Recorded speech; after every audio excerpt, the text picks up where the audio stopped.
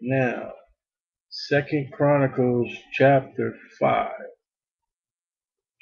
Thus, all the work that Solomon made for the house of the Lord was finished. And Solomon brought in all the things that David his father had dedicated, and the silver, and the gold, and all the instruments, but uh, put he among the treasures of the house of God. Uh, I mean, the house is finished, and what do you do? You, you move in. That's what he's doing right now. He's moving everything in like it's supposed to. Then Solomon assembled the elders of Israel, that's the heads of the people, and the heads of the tribes. Uh, there's an ambassador for each of the 12 tribes of Israel. The chief of the fathers of the children of Israel, unto Jerusalem. So he's calling for all the head of the assembly, all the big people, all the people in charge unto Jerusalem. Now, when we went through the book of Exodus and Numbers and, and Leviticus and Deuteronomy, God kept on saying, There's a place where I'll put my name. There's a place where I'll put my name. There's a place where I'll put my name. It wasn't in that tabernacle that they carried because that place was from point to point to point to point to point, and then it was pushed pushed off during the side. It was forsaken during King Saul. But this is the place now. This is where God's putting his name. It's in Jerusalem. And if you don't believe me, read the newspapers. And this is one time you're going to have me tell you to read the newspapers. Other times, throw them in the garbage can.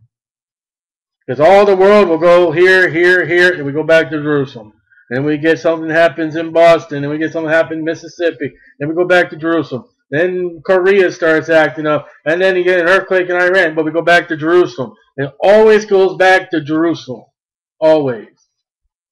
Because Jerusalem is the center of the world. This is where God said he'll put his name. And then all things, listen, everybody's fighting for this land. I guess everybody wants God and they want God in their own way. But there's only one people of God. To bring up the ark of the covenant of the Lord out of the city of David, which is Zion Okay, remember David brought the ark, finally he brought it right. He brought it to the city of David, which is called Zion.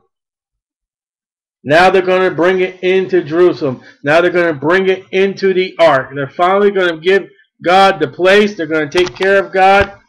They're going to do right. Wherefore all the men of Israel assembled themselves unto the king in the feast, which was in the seventh month. That's there uh, are October, September, October. There were many feasts in the seventh month. Gee, I mean, if you were going to pick a month that you were going to bring the ark into the temple, where the ark is going to come in into the most holy place, and it's going to stay there, and it's supposed to stay there for all eternity. I mean, if you were to pick a month that Jesus Christ would be born in, if you look at the ark, you know, it's got the wood inside, it's covered with the gold Gee, I wonder what month you choose. I'm sure it's not hope it's December. I think Jesus was born in the seventh month of the Jewish calendar, not ours. By the way, you do know our calendar is Roman Catholic, you know, Roman. You do know that. You do know that each of the months are named after the planets, named after the gods of the planets, which are Roman and Greek. Uh, I didn't say Greek, I'm sorry. Gods Wherefore all the men of Israel set themselves unto the king in a feast which was in the seventh month. And all the elders of Israel came, and the Levites took up the ark. Oh, look at that. Solomon does it right. You just picture David somewhere, either talking to Solomon or he writes something down. Let the Levites carry the ark on their shoulders, my son. Don't you do what I did the first time and put it on the cart. You see that grave over there, uh, uh Uzzah? That guy died because we did it wrong. And they brought up the ark and the tabernacle of the congregation, all the holy vessels that were in the tabernacle. These did the priests and the Levites bring up. So they're doing it right. King Solomon and all the congregation of Israel that were assembled unto him, both before the ark, sacrificed sheep and oxen which could not be told nor numbered for a multitude. Man, it's amazing this temple, this temple that Solomon builds is finally built, it's finally taken of all the stuff you cannot number. Now, this temple is a representation of what glory is going to be like. Yeah, I know it's on the earth. I know it's built by man. But Solomon is a type of Jesus Christ. And Jesus said, I go prepare a place for you that I might come and receive you back. You just imagine of all the stuff that we've seen, they're unnumbered. And the fact is, when we finally get to glory, you, you still cannot. You know what I think? I still think when we get to glory, I still think you can't count the angels if you sat there for all eternity and lined them up. You cannot count days and years. Now, I'm sorry. It's a beautiful song, Amazing Grace, but when we've been there for 10,000 years, sorry, there are no years in eternity. Time stopped. You can't count time. There is no calendars in the glory. And when I was at the prison ministry, when I taught those men, I said, you think about hell like this. There's a clock on the wall in hell, and there's no hands, and God says you can get out at 11 o'clock. And you just sit there. I said, you can't go day after day. I said, you can't go minute. I said, there is no time. You're just sitting in hell looking at that clock, and that's it. That's eternity. All the unnumbered things that we're seeing. Heaven is unnumbered. The glory of God. Praise the Lord. I tell you, there's a spot and once I find it, I want to make that as my memory verse. Paul says something about that we can't comprehend. Now, I'm, I'm just that verse completely, but let's get that verse again. I want to memorize that because this is, you can't even fathom what heaven's going to be like. and a second, and the priest brought in the ark of the covenant of the Lord unto his place. Now they say his, they call it his.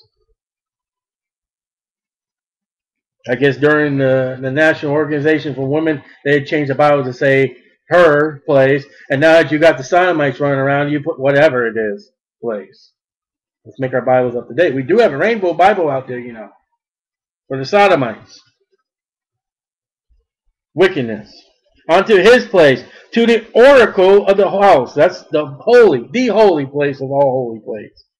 Into the most holy place, even under the wings of the cherubim for the cherubim spread forth their wings over the place of the ark, and the cherubims covered the ark, and the staves thereof above.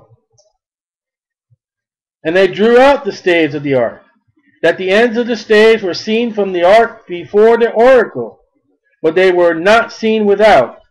And there, there it is unto this day. In other words, they pulled those staves out. That ark is not to move anymore by man.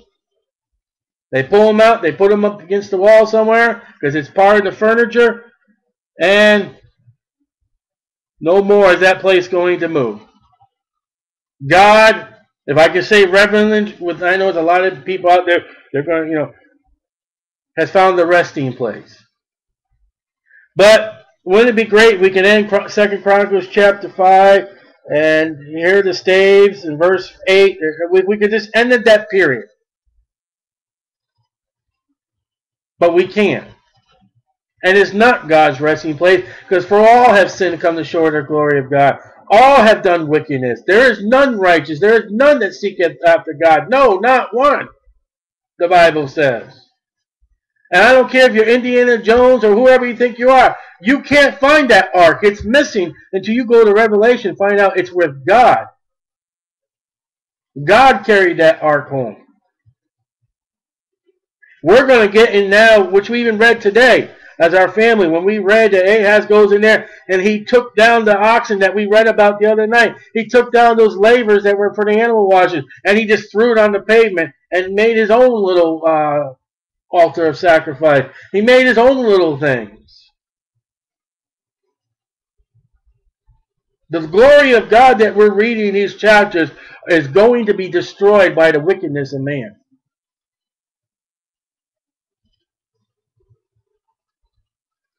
Listen, the church ain't getting better. It's getting worse. And Paul told you, and if you don't think it, you think you're going to have this great time and fellowship and all that, you're a fool because read what Paul said. Read the book of Revelation. The church is lying to itself. We're rich. We have increased of goods. We're not, and God says you're, make, you're naked. You're miserable. You're a liar. You got the devil in the front seat, amen, the preacher, the preacherettes, and all the other foolishness going on. And you got Jesus Christ outside the door knocking. Can I come in? Or, you matter of fact, I don't even want to go in. You come out to me, and we'll sup. Jesus Christ doesn't even want to go into today's church. And he's absent from most churches today. There was nothing in the ark save two tables which Moses put therein in Horeb. That's the Ten Commandments.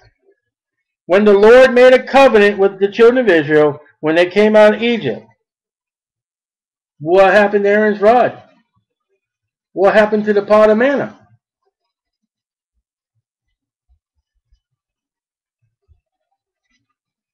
The manna was put there to show that the children of Israel, God did provide for their needs when they were in the wilderness for those 40 years. What happened to it?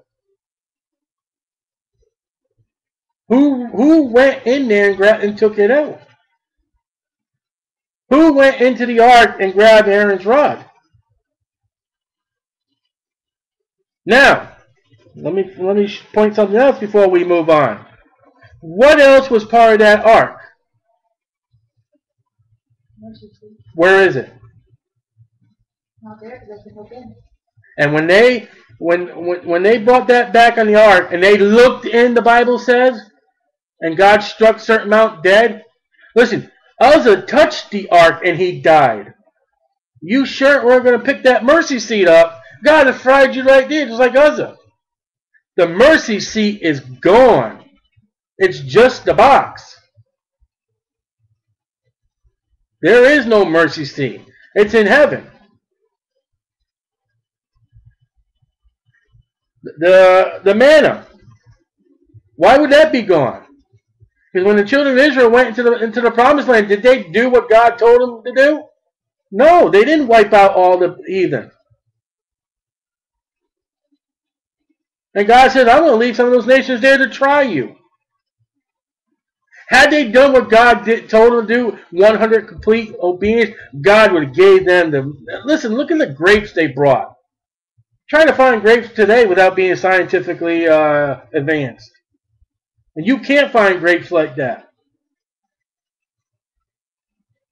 Aaron's rod that brought life. Oh, wait till you see what we're going to see in the future of Second Chronicles. What happens to this temple? The Lord tarries.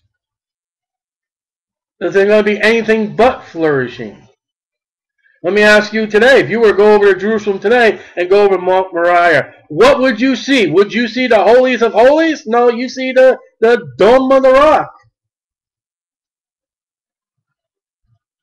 By, by the two religions of the world that are, are massing themselves in the world, Roman Catholicism and Mohammedanism, Islam.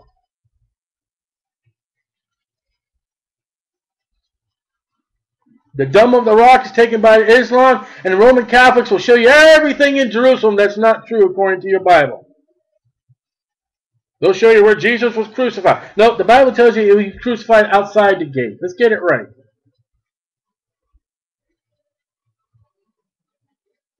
So the Aaron's rod, the mercy seat, and the manna are missing. And it came to pass when the priests were come out of the holy place for all the priests that were present were sanctified, they better been, and did not then wait by course. In other words, they put the ark in there and they got out. They knew they were in the presence of God. They knew that there was only to be the high priest. They knew that God was only allowed to be temporary to go in to drop that ark and to get out. Also the Levites, which were the singers, all of them of Asaph, of Heman, of Jeduthun, with their sons and their brethren, being arrayed in white linen. Wow, the white linen that, that compassed the courtyard is now the, the singers are wearing. I wonder if they compassed the whole land, this temple. Like the wall of the tabernacle. That's what I picture. Having cymbals and psalteries and harps, stood at the east end of the altar. That'd be the brazen altar. And with them a hundred and twenty priests, sounded with trumpets. That must have been a joyful celebration. That must have been a joyful time for the Lord. No flesh bebopping, no drums, doing it only for the glory of God and not for self and not for flesh. And it came to pass as the trumpeters and the singers were as one, unity. In other words, the notes of the music and the notes of the singers matched. No one was out of place. Now you know God was in that. And you know they practiced. You know they worked on it. You know they rehearsed. You know they put time into it. That you know that they gave it all to the glory of God. And it came to pass, as the trumpeters and singers were as one, to make one sound to be heard in the praising and thanking of thanking the Lord. Singing is to be praising and thanking the Lord.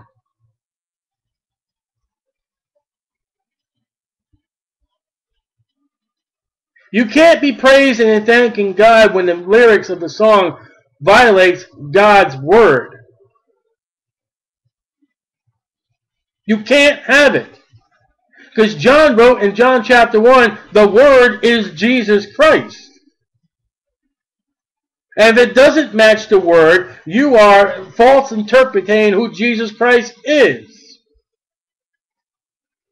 Read the hymns, the, the songs in the hymnals. Read them with an open Bible.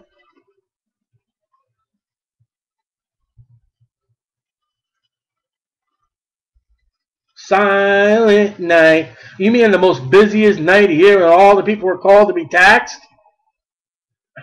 All the merchandise, all the stuff going on, all the people going to the booths and all that?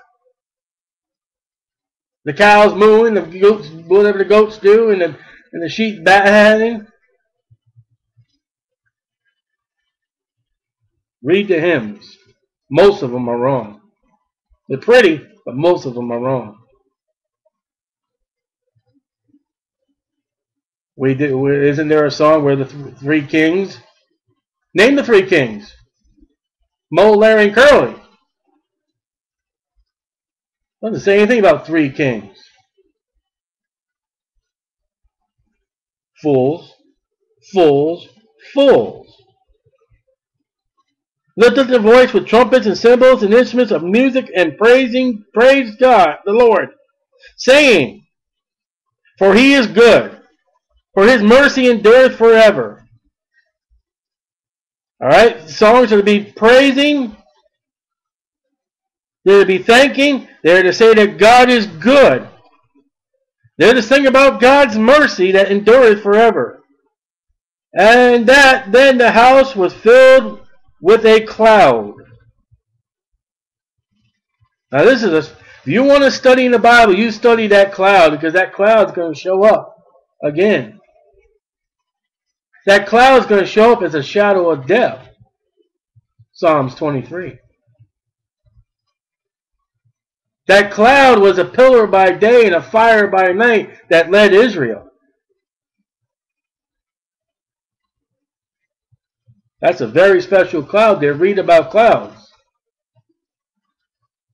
Elijah goes up, or Elisha, which one, goes up to a guy, he says, uh, go, he says, I see a cloud and it has the shape of a man's hand. He says, You better run because here comes rain after a famine.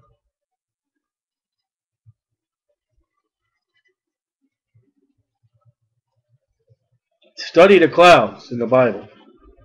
Interesting subject. So that the priest could not stand to minister by the reason of the cloud. Now, come on. What kind of cloud is this? That they couldn't stand. Imagine here comes an airplane, it's flying in the sky, it's got a cloud, everything's got, they bounce off the cloud. This is no ordinary cloud.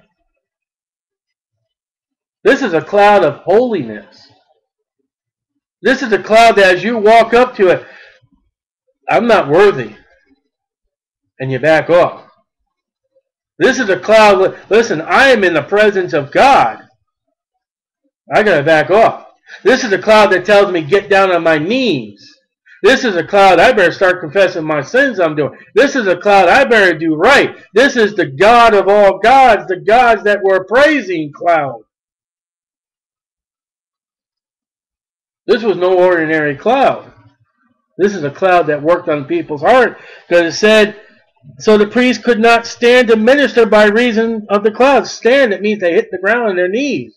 They couldn't do the jobs that they were supposed to do, that they wanted to do.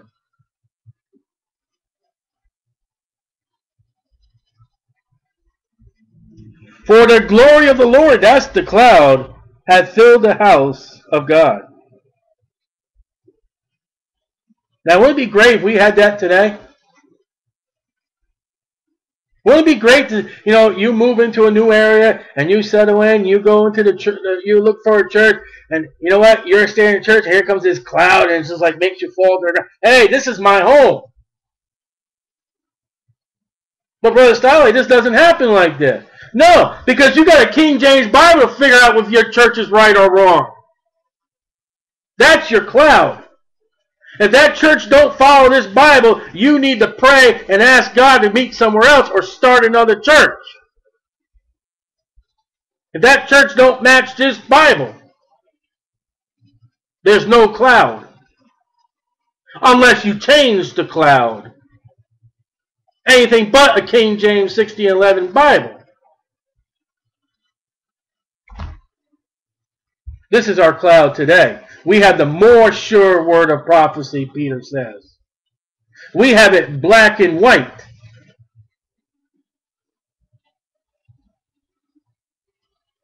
And we could take it to any courtroom if we had any respectable judge in this country. Oh, how the church has gone south, how the church has gone wrong. That closes another chapter.